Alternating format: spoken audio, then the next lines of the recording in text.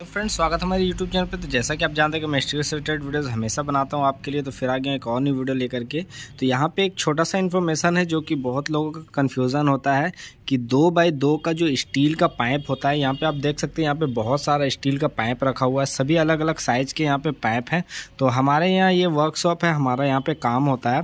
तो बहुत कोई ऐसे हमारे व्यूअर्स हैं जो देखना चाहते हैं कि वज़न कितना होता है। अगर आप गेट बना रहे हैं, ये ग्रिल बना रहे हैं तो आपको इस्टीमेट निकालना होता है कि आपको कितना वज़न जाएगा आपका ग्रिल का, गेट का। तो यहाँ पे हमारे पास जो ये पाइप है, आप देख सकते हैं, ये दो बाई दो का यहाँ पे स्क्वायर पाइप है। यहाँ पे इसको हम लोग अभी वज़न करके देखेंगे कि इसका वज़न कितना हो रहा है। ये हमारा अठारह गेज में है। आपको ध्यान देना है कि इसमें गेज होते हैं, जितने भी पाइप होते हैं, सब में गेज होते हैं, पतले, मोटे होते हैं।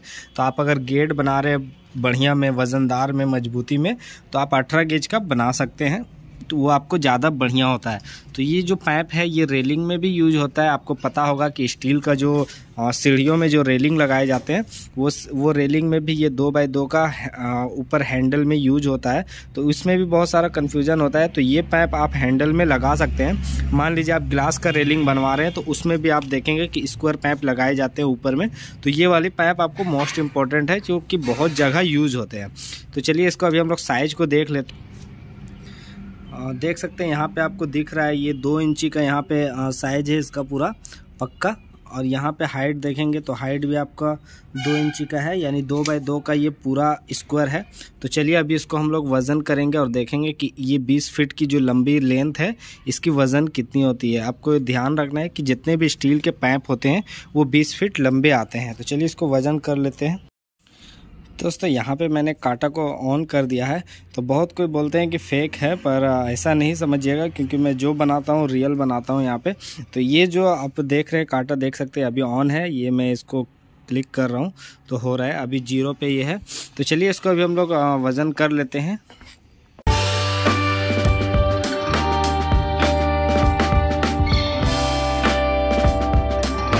तो फ्रेंड यहाँ पे आप देख सकते हैं, मैंने इसको वज़न में चढ़ा दिया है, पूरा लेंथ कहीं पे भी टच नहीं है।